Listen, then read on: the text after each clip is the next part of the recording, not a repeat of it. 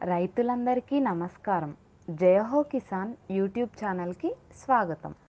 కలబందను అనేక ఔషధాల తయారీలో వాడతారు. మరియు దీని ఆకుల్లో ఉండే జిగురు లాంటి పదార్థం నుండి మూసాంబరం తయారు చేస్తారు.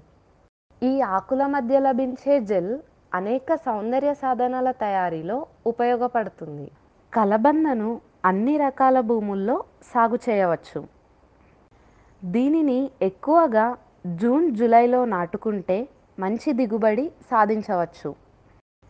కలబందను పిలకలు లేదా వేరుకొమ్ము కత్తిరింపుల ద్వారా ప్రవర్ధనం చేయాలి. పదిహేను నుంచి ఇరవై సెంటీమీటర్ల పొడవు ఉన్న పిలకలను అరవై ఇంటూ నలభై ఐదు సెంటీమీటర్ల దూరం పాటించి నాటిన వెంటనే నీరివ్వాలి. ఎకరాకు సుమారు ఐదు టన్నుల పశువుల ఎరువు ఆఖరి దుక్కిలో వేయాలి.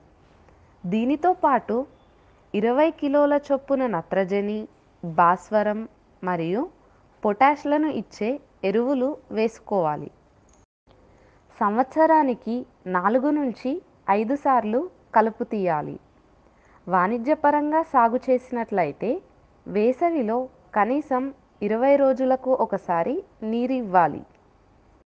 కలబంద నాటిన ఎనిమిది నుంచి పది నెలలకు కోతకొస్తుంది. ముదిరిన ఆకులను మాత్రమే కోయాలి.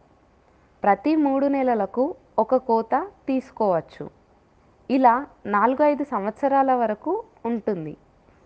ఒక ఎకరాకు పదిహేను నుంచి ఇరవై టన్నుల తాజా ఆకుల దిగుబడి వస్తుంది. సమీపంలో ప్రాసెసింగ్ ఫ్యాక్టరీ మరియు సరి అయిన బైబ్యాక్ సదుపాయం ఉన్న రైతులు మాత్రమే కలబంద సాగు చేసుకోవాలి. లేనిచో మార్కెట్ సమస్యలు తలెత్తుతాయి. ఈ వీడియో మీకు నచ్చినట్లయితే లైక్ చేయండి షేర్ చేయండి మరియు మీ అభిప్రాయాన్ని కమెంట్ రూపంలో తెలియజేయండి. ఇలాంటి మరిన్ని వ్యవసాయ సలహాలు సూచనలు పొందడానికి జయహో కిసాన్ యూట్యూబ్ ఛానల్ని సబ్స్క్రైబ్ చేసుకోండి. అలాగే మా జయ